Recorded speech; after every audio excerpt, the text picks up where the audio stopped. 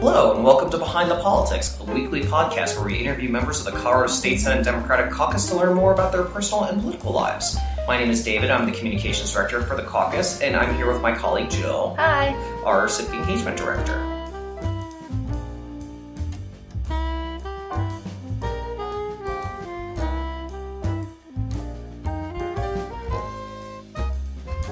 Today we are finally interviewing State Senator Dominick Moreno, who isn't busy at all. Uh, hi, Senator Moreno, and thanks for taking the time to chat with us today. Yeah, thanks for having me. And now that the budget's closed, you know, I, I am looking for things to do. So I'm glad this finally fit in. Um, so, Senator Moreno represents northern parts of Metro Denver. He was elected to the Senate in 2016 after serving in the House for four years. He's currently the youngest member of the Senate Democratic Caucus, and he sits on the Joint Budget and Appropriations Committees.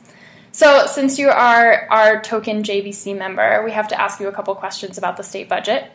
Um, so, you know, as far as I understand it, the JBC has a really steep learning curve. You begin in November, soon after being appointed, essentially, um, and then you know you dive right into these really complicated budgetary situations. So, to you, what has been the most difficult part about essentially starting this job up in November?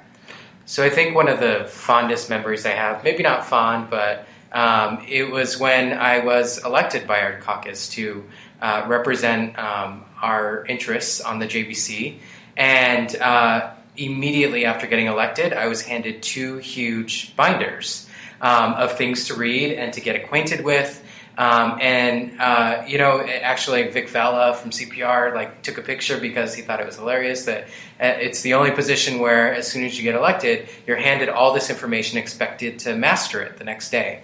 Um, so I think that's been a, a, challenge. Is just the level of mastery that you have um, that you're expected to have over a variety of different state departments and state budgets. And, um, you know, the JBC has complete oversight over every single department in the state of Colorado. So everything from water to, you know, uh, childcare and, and uh, schools, you are expected to know the ins and outs of all of those programs. Um, it's a lot to absorb uh, for one person.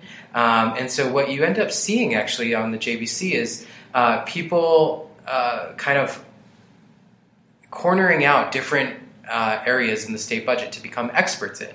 Uh, and so you have, you know, for example, Representative Dave Young, who is an expert in uh, intellectual and developmental disability issues. You have Millie Hamner, who is an expert in school finance. Um, you have Bob Rankin, who's an expert in severance tax. I'm still trying to figure out what my area of expertise might be. I'm looking at maybe higher education because there are such um, huge issues there and affordability for families. So I would love to do more on that, and really make sure that uh, you know maybe Medicaid will be another area of expertise for me, uh, particularly making sure that uh, folks who are vulnerable, who are low income or have disabilities or uh, you know uh, have diabetes and need um, procedures there, that those folks are all taken care of. And we are facing some huge issues with the federal government and Medicaid right now. Uh, my hope is that we will be able to pick up, pick up the slack in Colorado, uh, that the federal government doesn't decimate a really important program like Medicaid by reducing their financial commitment and responsibility to that program. Because if they do that, then we're going to have some really tough choices to make in Colorado. Yeah, I mean that's actually a perfect segue into my my next question. With um, the Senate considering the budget this week, um, what most concerns you about the current budget? So I think what's most concerning for me is beyond some of those federal issues that I talked about, right? Because the federal government is making a variety of changes to the federal bu- budget that will ultimately affect us at the state level. That's concerning. But what's more concerning to me is actually what we've done ourselves to our state budget to lock us into a certain way of doing things. And that usually has to do with the constitutional amendments that voters have passed.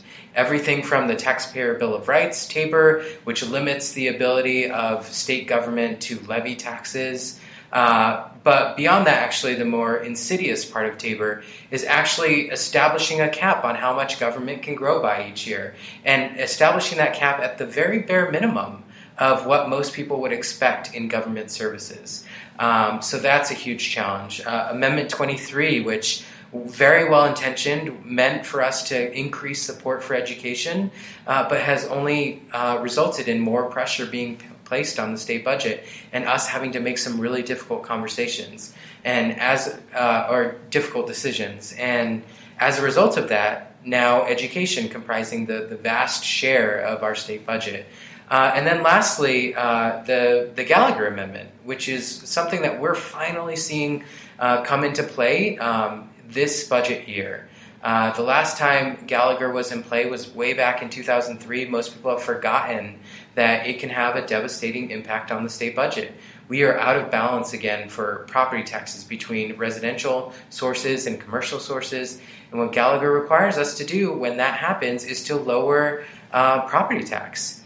And if you think about the entities that depend most on property tax, their fire districts, their water districts, uh, their schools, uh, their cities and counties and parks and recreation districts, these people are all facing huge cuts in their budget for next year. And it's actually schools that uh, the state legislature is the only entity that we have the ability to make up that difference for. Uh, those other fire districts, water districts, parks di- districts, all those folks are just going to lose money, and we can't do anything about it at the state capitol. Uh, for schools, that's a different story. But this is a huge challenge that we're facing for next year, and it's resulting in us having to find another, um, you know, over 150 million dollars in our budget uh, to put towards schools because they're going to lose that in local property tax revenue.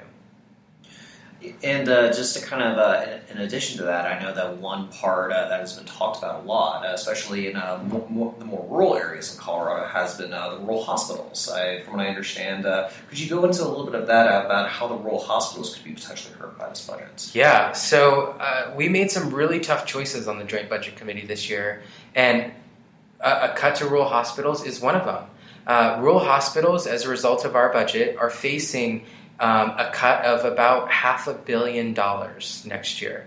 And that's because um, you know the, the $264 million that we are actually forced to send back to taxpayers uh, pursuant to Tabor, uh, we decided that instead we would restrict the level of revenue that we're bringing in so that we don't face that. So that $264 million doesn't have to come from schools and doesn't have to come from roads and all these very important government services.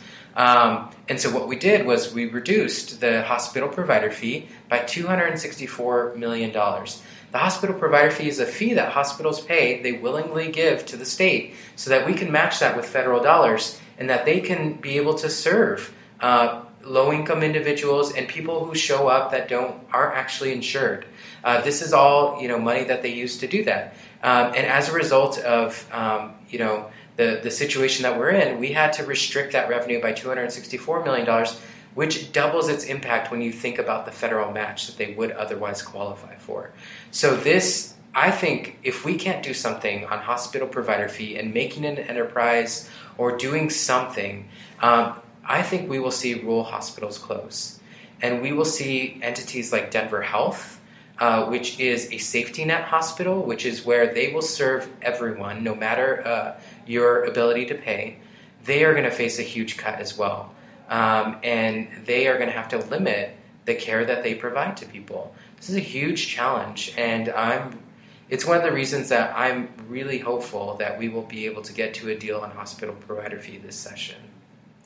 Well, uh, you know, thank you for all that, Senator. That's all really. Uh, I know there's a lot of folks out there who don't really understand just the uh, what goes into creating our state budget. Uh, that we are constitutionally, the the Senate and the General Assembly in general is constitutionally required to pass a balanced budget every year. Um, so, switching gears a little bit. Uh, let's chat a little bit about your background and your career path. You were born and raised in Adams County. I believe you're a native son there, and uh, what made you want to get involved in politics? Tell us a little bit about your background and you know what led you to being here. Sure. Uh, so uh, I was born and raised in Adams County. I actually live only a block away from the house I grew up in, and where my parents still live. Super convenient if you're um, still a bachelor like I am. Uh, you can go home for home cooked meals all the time. Um, but um, you know, I uh, I grew up in that community, and um, I was really fortunate. I got a great scholarship, the Daniels Fund Scholarship, and I was able to take that and go to Georgetown University in Washington, D.C. Um, and while there, you know, I very much took to the Jesuit mission of social justice, uh, of um, contributing back in some small way. And so, uh, in addition to, you know, I didn't have the traditional profile of a, of a kid that goes to Georgetown. Um, I had to work to put myself through college, um, but I also found time to do community service, and I um, did after school programs in um, in uh, Southeast DC elementary schools um, and packaged meals for people with terminal illnesses. Um, all of those different service projects really provided me a meaningful experience in college.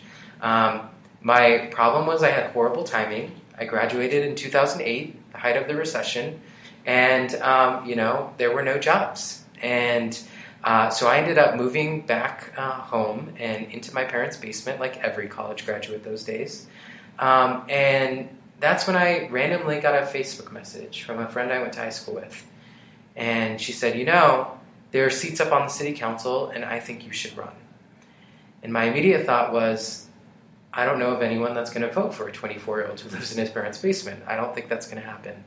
And I had no idea how to run a political campaign. And uh, but I thought about it more, and I was like, you know what? The success that I've had in my life to date is not my own. Um, it came from the people in the community that supported me, my teachers, my parents. And why not use this amazing education I was able to get um, right at home? And so I decided to run for city council uh, at 24, living in my parents' basement. Uh, I had, you know, I ended up designing my own flyer on Microsoft Word. Um, I made copies at Kinko's, black and white, because I couldn't afford color. Um, and that's what I handed out to people. Um, and um, universally, uh, people said the same thing.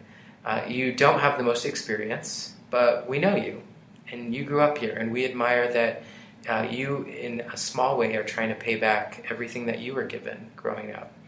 Um, and uh, by the time I jumped in, two other people had already announced. Um, I didn't think I had any shot whatsoever. And um, election day came around, and um, I actually ended up getting more votes than the other two people combined um, and became the youngest person ever elected in Commerce City history. And when that happens, all you can think is, crap, what do I do now? Because I never expected to win. Um, but I uh, got up to speed on the issues very quickly, um, loved every minute of serving on a city council. That is where um, government meets the rubber meets the road there. You talk to people every day um, you know, they call you if their trash doesn't get picked up. They call you if um, they have a, a, a, neighbor's barking dog that you know just won't just keeping them awake. Um, it's all those very small issues, uh, but really important in, in people's lives. And so I loved that direct contact that I was able to have with folks. Um, and then a seat opened up in uh, the state house, and I thought about all the things that I went to school for civil rights, education, healthcare. Um, and those are the issues that are debated here down at the state capitol. And I wanted to have um, some influence and involvement in those issues. And so I decided to run for the state house and serve there for four years. And um, now find myself in the state senate, and uh, has it's been great. And so, finally, just a fun question that we're going to ask all of our guests: What is the most embarrassing thing that has happened to you at the Capitol? So I had to give this some thought, but it's actually um, an embarrassing thing that happened just today that my uh, legislative aide can also attest to. Uh, we were hosting students from uh, Mesa Elementary uh, here at the state capitol today. And, uh, you know, we kind of let them run wild in one of the Senate committee rooms. They're like, oh, yeah, sit in the senator seats, take some photos, have a good time.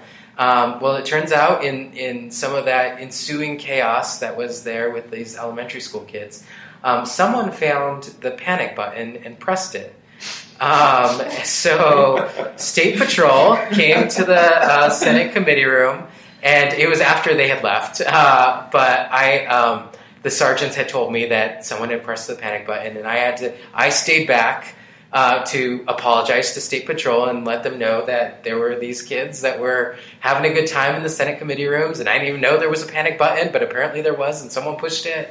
Uh, but they were very understanding, um, and so uh, that was that was pretty embarrassing today. But That might be one of the best ones that I've heard since we've started doing this show. That's great.